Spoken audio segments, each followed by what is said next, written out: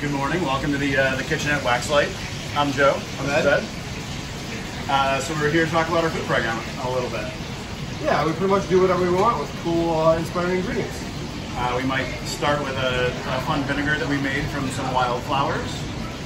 Some cool local meat.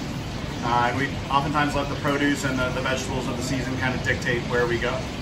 And try not to be too fat kid all the time.